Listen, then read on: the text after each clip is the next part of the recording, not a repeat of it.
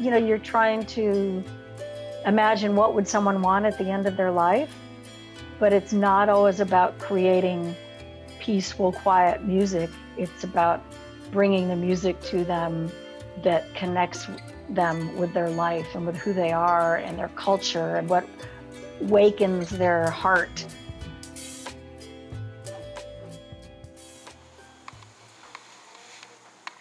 Sam Barrington spends his days slowly perfecting his painting skills. It's a hobby he started after growing restless in retirement. So I went down to Walmart and bought me some paint and brushes, and I went to the house and got some wood boards and started painting on them. And he's never stopped, even though a massive stroke six years ago severely slowed him down. Picking up a paintbrush gives Sam a creative outlet and a sense of purpose. His other passion is gospel music. But he never dreamed his favorite gospel group would play a private concert in his living room.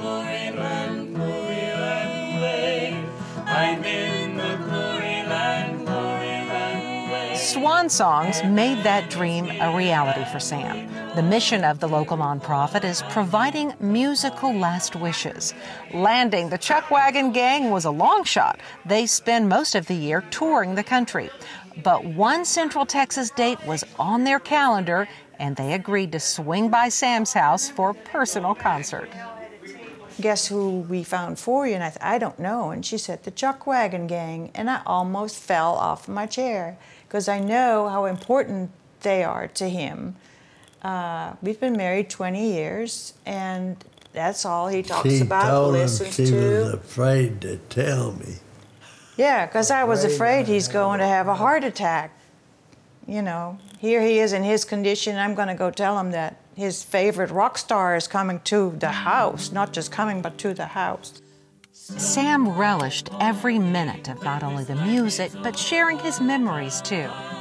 This group has a rich history. Shaye Smith's grandmother started the gang during the Depression, and several generations of singers have kept the music going. Well, he'd been listening to the gang since he was a small child. I think six years old, he started listening to the Chuck Wagon Gang, and uh, and so similar to so many stories we hear from a lot of our senior citizens that uh, remember hearing the gang way back in the day on the radio or listening to record players and, and whatnot. And for Sam, some of these songs are much more real than, than we may realize. Um, just as he is at this point in life um, experiencing what he's experiencing right now, I think the songs I don't know, kind of become just alive. Our mission is really to bring uh, joy and comfort and connection uh, at the end of life. Musician Christine Albert started Swan Songs as a nonprofit in 2005. Families never pay, and musicians are compensated for their time. In the past 15 years, more than a thousand concerts for terminally ill Central Texans have taken place. Live, in home performances are at the heart of their mission, but the pandemic forced this group to pivot to virtual or outdoor concerts.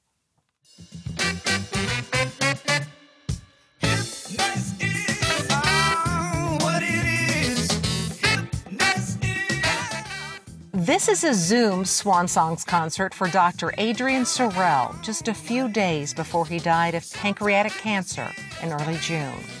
A music lover and former member of the Longhorn Band, Sorrell was a big Tower of Power fan.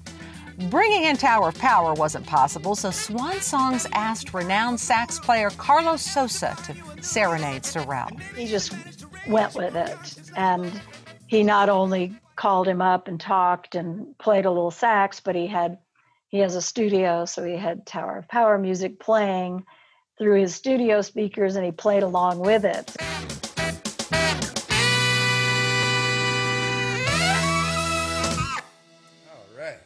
Excellent, excellent, fantastic.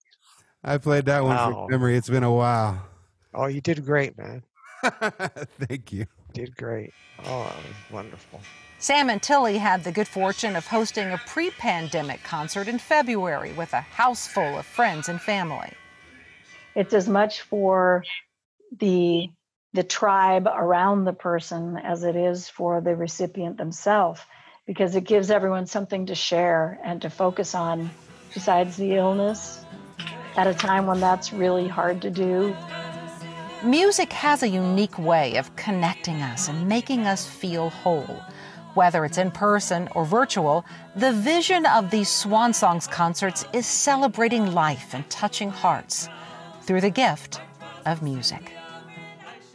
It reaches across boundaries that other things can't.